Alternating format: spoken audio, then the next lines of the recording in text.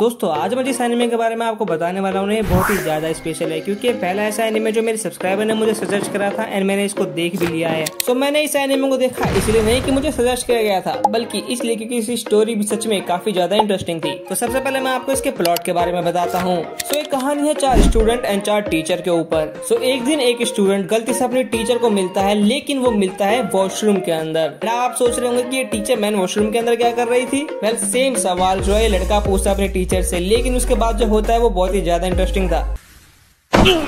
वैसे एनिमे के अंदर ऐसा ही होता है। हर जगह इसकी टीचर पहुँच ही जाती है कैसे ना कैसे। एंड जब भी ये टीचर इस स्टूडेंट से मिलते हैं तो बहुत ही ज़्यादा हिलियरियस इंसिडेंट होते हैं हमें बहुत ही ज़्यादा मज़े भी आते हैं। एंड जब भी ये स्टूडेंट अपनी टीचर से मिलता है तो हमेशा कोई ना कोई ऑकवर्ड सिचुएशन बनती ही है। एंड जब भी कोई ऑकवर्ड सिचुएशन बनती है तो मज़े हमें बहुत ज़्यादा आते हैं। वेल इसी तरीके से चीज़ें होती रहती है। ये स्टूडेंट एंड टीचर एक दूसरे से आपस में मिलते ही रहते हैं। एंड जैसे जैसे ये बहुत ज़्यादा मिलने लग जाते हैं एक दूसरे से, वैसे ही वैसे इनकी फीलिंग्स एक दूसरे के लिए बहुत ही ज़्यादा डीप हो जाती है एंड बहुत ही ज़्यादा कनेक्टेड हो जाते हैं। ये इसके अंदर चार से ज़्यादा करेक्टर है। तो इनकी जो स्टोरीज है, वो भी ऐसे ही एपिसोड्स के अंदर डिवाइड है। स्टार्टिंग के कुछ एपिसोड एक करेक्टर के लिए, फिर कुछ एपिसोड दूसरे करेक्टर के लिए, फिर कुछ एपिसोड थर्ड एंड ऐसे ही करके फोर्थ करेक्टर के लिए। लास्ट के एक या दो एपिसोड के अंदर ये सारे करेक्टर एक साथ आते हैं। अब बात करते हैं करेक्टर्स के बारे में। वेल इस पूरे एनिमे की स्टोरी आठ करेक्टर्स के ऊपर होती है। चार स्टूडेंट्स एंड चार टीचर वेल किस तरीके से स्टूडेंट अपनी टीचर से मिलते हैं एंड किस तरीके से इनकी टीचर्स के अंदर अपने स्टूडेंट्स के लिए फीलिंग डेवलप होती है, ये सब देखने में काफ़ी ज़्यादा मज़ा आता है। एंड साथ ही साथ जो भी इंसिडेंट के साथ होते हैं, वो तो बहुत ही ज़्यादा हिलेरियस होते ही हैं।